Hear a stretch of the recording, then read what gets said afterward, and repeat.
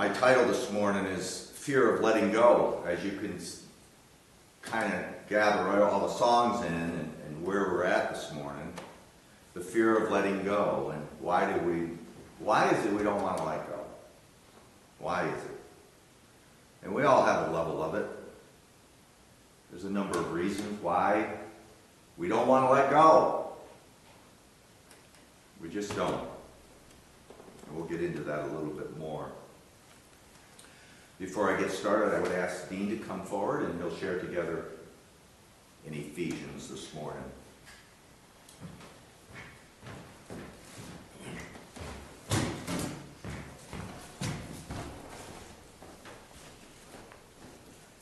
Ephesians 3 16 through 20. I pray that out of his glorious riches he may strengthen you with power through his Spirit in your inner being, so that Christ may dwell in your hearts through faith. And I pray that you, being rooted and established in love, may have power together with all the Lord's holy people to grasp how wide and long and high and deep is the love of Christ. And to know this love that surpasses knowledge, that you may be filled, filled to the measure of all the fullness of God. Now to him who is able to immeasurably to do immeasurably more than all we ask or imagine, according to his power that is at work within us, to him be glory in the church and in Christ Jesus throughout all generations, forever and ever. Amen. The word of God for the people of God. Thanks be to God.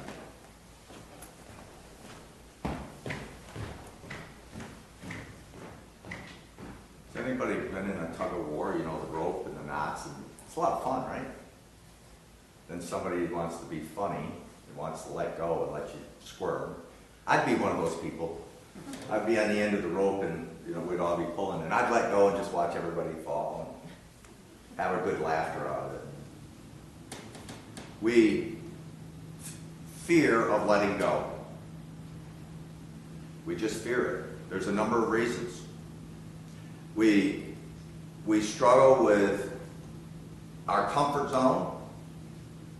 We have certain comforts even coming here to church. Having been in this other church for many years that we lived in, it was almost many, many years ago, you didn't sit in my pew. I sit there every week. That's not God's church. That's no resemblance of God's church. But we have, we're habitual. We create habits in our lives and we don't want to change those habits because we're used to them. We're comfortable. We don't want to let go. But in fact, when we let go, we're letting God do what He does best. And that is to form us in the image of Jesus Christ. To bring wholeness to our lives. To make sure that whatever we do, that it is able to withstand the storms of life. How many have had a storm in their life? Raise your hand. Everybody has storms in their life. And if you haven't had one, bless you. Because one is waiting on your doorstep. Could be from a medical report, Ann's report that just came in. What a blessing. But we all are going to ashes to ashes, folks. That's reality. And the more that we want to let go and let God in, the more fullness of happiness. Get this. The more fullness of happiness we will have in each one of our lives. Amen? We will. It's just proven. We hear much about New Year's resolutions and our commitment to exercising. We're going on a diet only to realize in a short time that we are weak and we fall back into our old habits, right?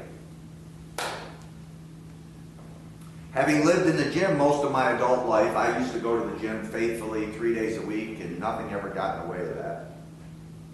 It was interesting to hear stories of a new face coming, coming for about five weeks only to never see them again. Right around the first of the year, we all make resolutions. We, I'll put myself in there too. We make resolutions, especially having been in the gym, people make resolutions and they're all gung ho at the beginning. A new face would come and they're exercising. Well, about five weeks later, that face is no longer around. Hmm. I've come to the fact that we shouldn't focus on the silly resolutions as much as we should focus on removing some of the clutter in our lives. The New Year's resolution thing, I, I think it's a thing. It's like, come on. We know and we trust that all things are possible with Christ. We, we, we believe that. You've heard it more than once.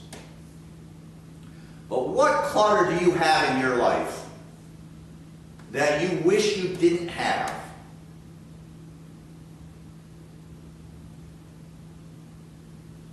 We all have it. We all have something.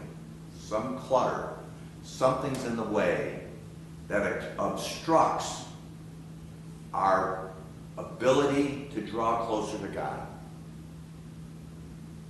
And until we let go of that, we're going to stay right where we're at. And some people are okay with that. That's fine. But when we remove the clutter, the happiness and the joy, the fruits of the Spirit that invade our lives is evident by the fruit that we bear with one another. That brings us happiness. We're going to hear a lot more about letting go, but I have a funny this morning. It's called the Christmas Flight. So if you don't think it's funny, just laugh anyways for me, will you? Okay?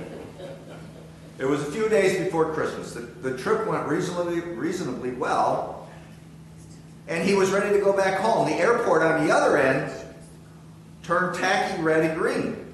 The loudspeakers blared annoying elevator renditions of cherished Christmas carols.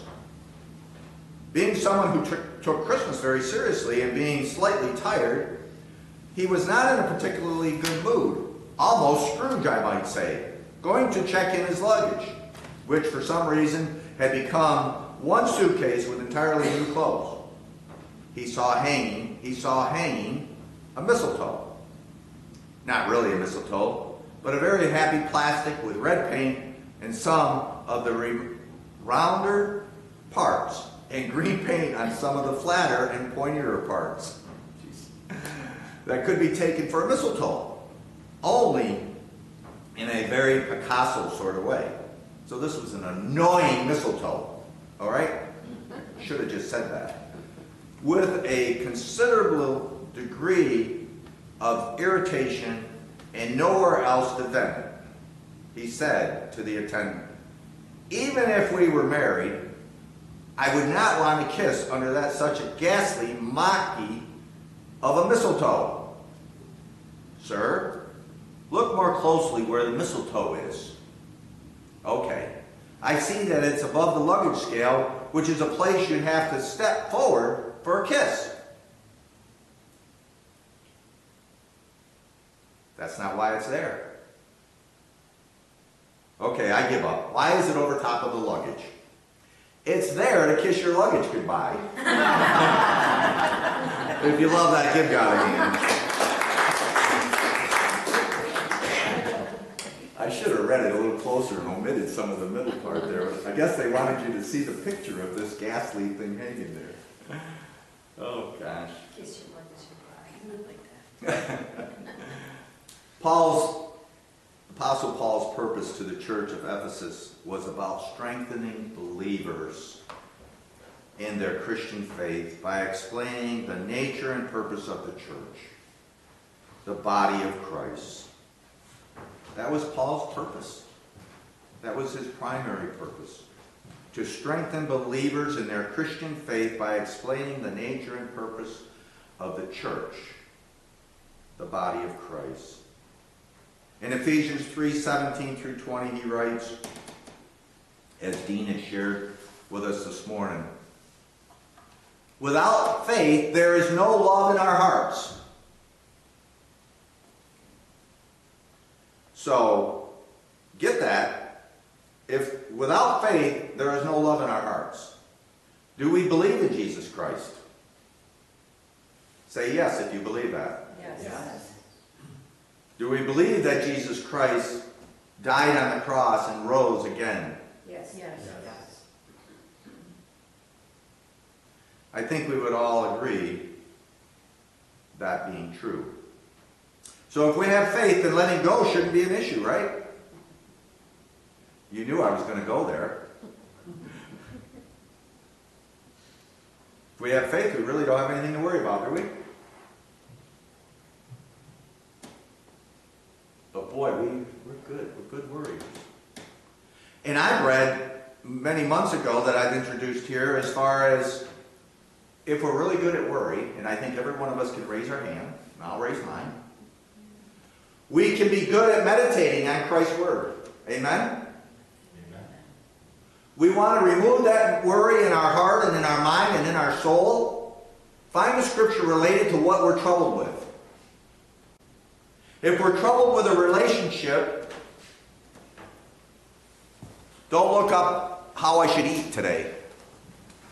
Look up a scripture on how do I mend a broken heart. Look up a scripture on a, a problem that you're having at work with a non believer.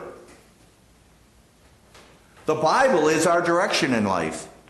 The Bible is, is the offering, the offering of us to show and be the light of the world.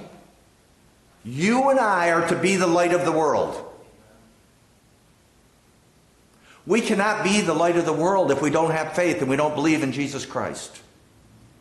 I'm not talking a little bit, I'm talking about a whole bit. I'm talking about submitting ourselves to Christ so that we don't have this anxiety inside us. We're not troubled when a family member doesn't like us. Families are so broken. I have found out since I've been in, in the ministry, there isn't a family that's exempt from some sort of turmoil. It breaks my heart. It's, it's one thing I'm not fond of knowing that I've learned. Families are so broken. It's very troublesome for me. And Christ isn't part of their lives. And wow, boy, we have a job to do, don't we? Don't we have a job to do? And we can't think, you know, and I've said this to myself from time to time too. And, and I've said to God actually, you know, I feel like I'm I'm beating a dead horse here. I'm struggling. We have our church here and we have a lovely family of Christ. But there's the multitudes out there that need to hear about this. To he- hear about this Jesus in our lives. And it's like throwing a tear into the ocean. Can we really make a difference? The answer is emphatically yes, we can. But we cannot make a difference if we're going to stay stuck where we're at and we're not going to grow in Christ. We're not going to relinquish the things that hold us back. The fears of letting go. It won't happen. It won't happen because fear takes us, takes over us. And we struggle. An example might be a marriage going sideways. And we hang on because of why? Money? We hang on maybe because it's comfortable. Or a big one, it's embarrassing to go tell mom, Mom, our relationship isn't working anymore. Or social status. I'm using this marriage as a metaphor to help us understand why we hang on sometimes. But by hanging on, we know that it can poison the children.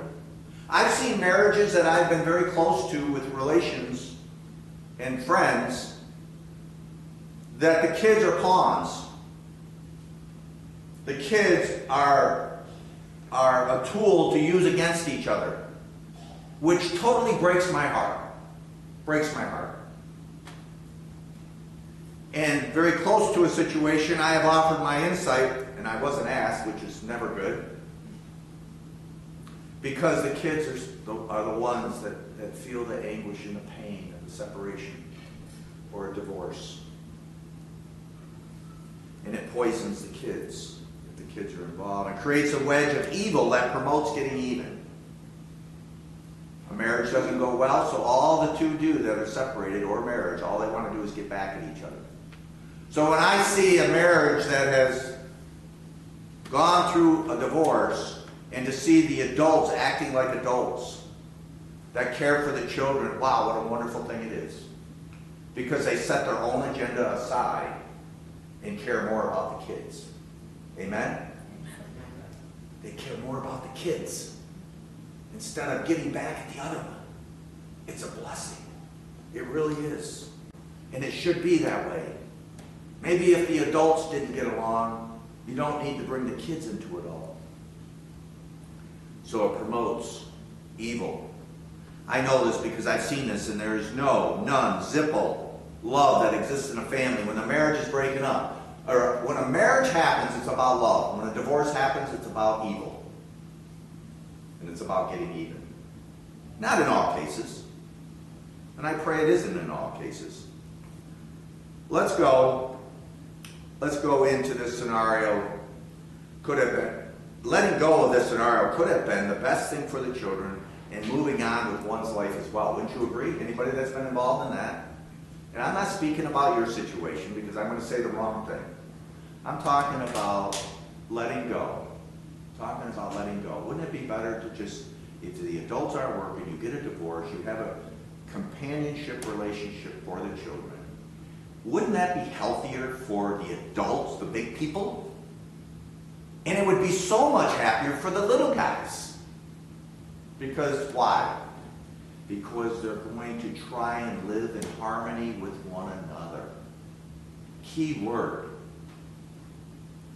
They don't always have to agree with one another to live in harmony with one another. A matter of fact, society today is if you say something wrong, I'm offended by it.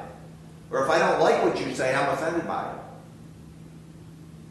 But when a marriage goes sideways and they're all working in unity with one another to exercise the love of Jesus Christ in that environment, wow, that is so powerful and so meaningful.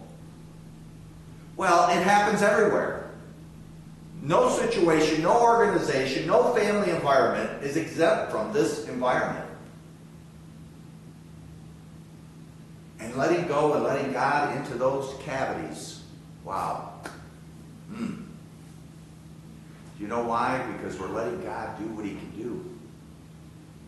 And that is to heal us, to strengthen us, to give us hope in the future. Can I get an amen? God loves us. I can tell you for me, my father was not a father. My father was a monster. But boy, I got a father that loves me, that embraces me, will never let me go. There's, I don't need my father from earth because I've got a father in heaven that loves me unconditionally. With my sins, with my brokenness. I am so grateful. Every day I, I thank God for that. Because he does show me the way. He doesn't leave me out the pasture. He gives me the opportunity to see the way. Now let's look at verse 17 as it continues to say, And I pray that you being rooted and established in love. Do you think this family would have experienced the evil that took place if they were rooted and established in love? Probably not. Before the divorce came, if they were rooted and established in love, a divorce may not have even happened anyways. Because maybe, just maybe, God would have been part of that family's life. But if you're rooted and established in love, you're able to withstand the storms of life. You're able to withstand a divorce. You're able to withstand a relationship gone bad. A family member that is not fond of you. Pick one. They would not have they would not have experienced the enemy invading that family's life. And they would have lived, you've heard the phrase, happily ever after. So how can we get to that place of being rooted and established in love? For me, I don't think it's I don't think it's getting there. I think it's a journey. I don't think we arrive when we say I'm rooted and established in love. It's a journey. It's an opportunity for us to grow in Christ. And we're not going to grow in Christ unless we're intentional about it. I'm not talking about the clothing ministry. I'm not talking about ringing the doorbell, ringing the doorbell, ringing the, the Salvation Army bell. I'm talking about your relationship on an individual basis, what God means to you. That's what I'm talking about. Nothing more, nothing less. If your soul is being filled on Sunday morning in worship, wonderful. If it stops there, not so wonderful. So much more needs to take place. Start something new in your life. Start something new in your life. My dear friend Debbie here, gonna, I like putting people on the spot. She has a, she has a ministry that she started. And it's a song ministry. She sends songs to people she knows. And I've started doing that. Many of you receive a song from me. I've started doing that to inspire people. And I tell them it's not necessarily, I don't need a response. And if you'd like not to receive this, I'm okay with that. I, I put that in an email occasionally. But it's a ministry to maybe lift somebody's day up. I don't know. That you've done for me. And I'm grateful for that. But start something yourself that can impact people. If you read the Bible, is there a scripture that spoke to you? Send that scripture to somebody. That's what I'm talking about. I'm not talking about our to-do list. I come from a very active to-do list in my life. And I wasn't happy until I completed the to-do list. Because that's who I am. I'm a mover and a shaker. Let's get it done. Let's get it done and everything. And it's like God says, wait a minute. Wait a minute. You say you love me and you want your prayers answered? How much time are you spending with me?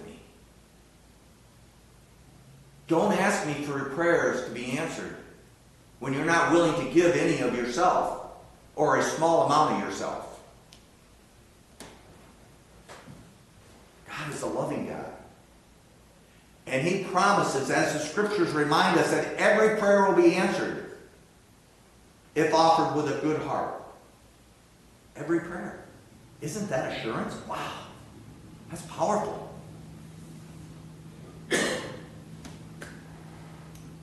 Removing some of the junks in our lives. What is holding you back as we enter the year 2024? I'm going to use the word that no one wants to hear. Here it comes. Change. Nobody wants to hear that word.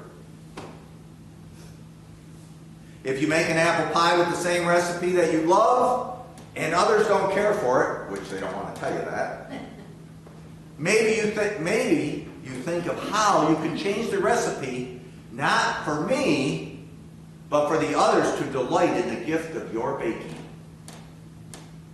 You got that? You're not making the pie so that you just love that apple pie, boy. A little ice cream on that? Sounds good, doesn't it? You're reconsidering how you make the apple pie so others take delight in it, that find joy in it. That's where we're bearing fruit, folks. And I'm not talking apples. That's where we're bearing fruit. They won't they will know us by our love, but more importantly, they will know us by our fruit. What is falling from you? What is falling from me? What do you need to change to experience the fullness of God's love? Maybe read the pastor's suggested books. I don't know if anybody's reading John. I don't need acknowledgement of that. I don't know how many people have read Luke in the month of December. Attend a Bible study, participate in church activities, say yes to church mission opportunities. There are many. Be so busy that God Be so busy for God that you don't have time to swell, you don't have time to spend on the junk in your lives, the clutter that we get consumed with. What bad, what bad habit can you empty out and let God in a little more, in a little more room to do great things in your life? You may have to slow down the merry-go-round.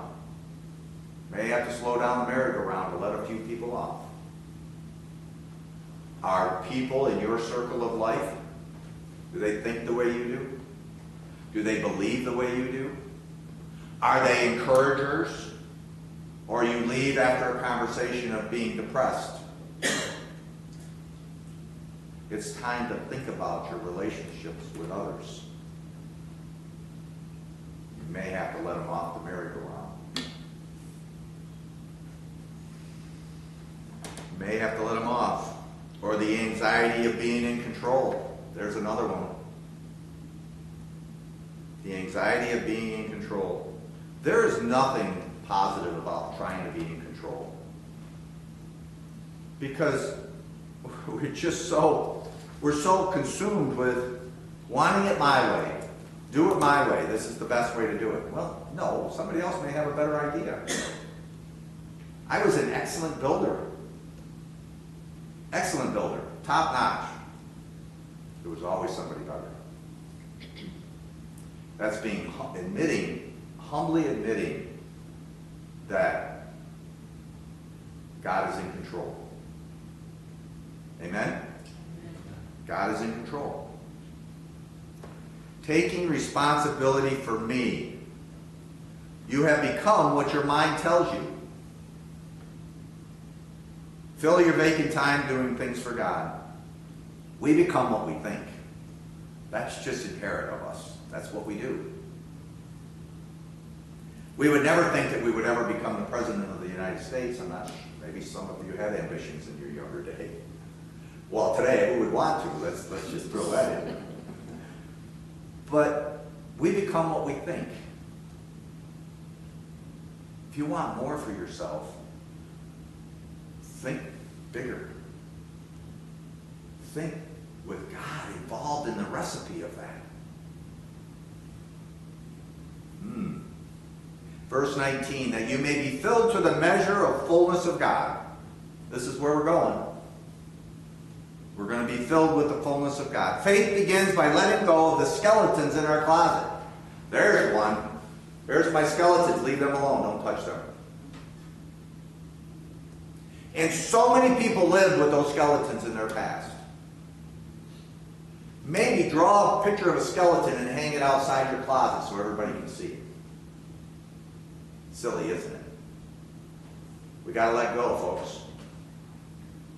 We got to we got to let go. We got to be okay that we're going to let God take a hold of it. Skeletons in our closet, and boy, when we do, God invades those spaces that brings joy, peace, hope, and His love in our heart. Wow. So joyous to trust Him for these gifts. I searched for peace my whole life because I was a busy person. I searched for peace. Didn't always have peace. Still don't have 100% peace because, like I said, it's a journey that we're all on. Some of us are further along in Christ. Others are still baby Christians. How do we, how do we grow?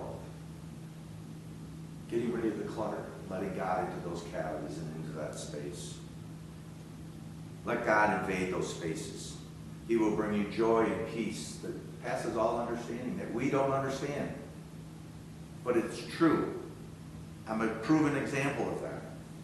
Let's start 2024 with excitement about how I can celebrate God in our lives, but also how can I remove the clutter?